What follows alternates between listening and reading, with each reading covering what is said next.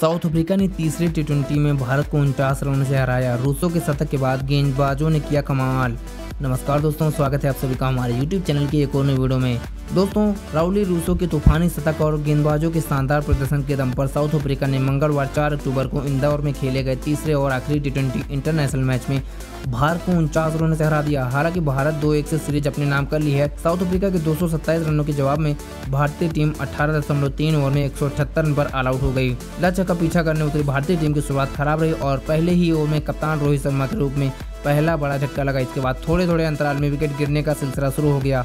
भारत के लिए top scorer रहे दिनेश कार्तिक, जो नंबर चार पर बल्लेबाजी करने आए और इक्कीस गेंदों में चार चौके और चार छक्कों की मदद से छियालीस रन की पारी खेली। इसके अलावा दीपक चाहर ने सत्रह गेंद में इकतीस रन, ऋषभ पंत ने चौदह गेंदों में सत्ताईस और उमेश यादव ने सत्ताईस गेंद में बीस रन की ताबड़तोड़ पारी खेली। साउथ अफ्रीका के लिए डिवेंट प्रोटियोज ने सबसे ज़्यादा तीन विकेट लिए। वहीं वैन डेन परवेशन ने लुंगी डेंगडी केशव महाराज ने दो दो विकेट और कगिजो रबाडा ने एक विकेट अपने खाते में डाला।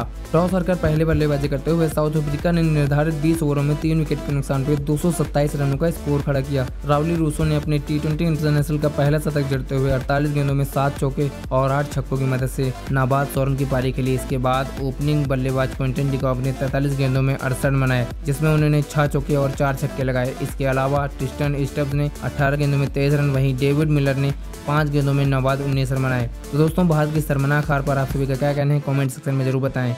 धन्यवाद।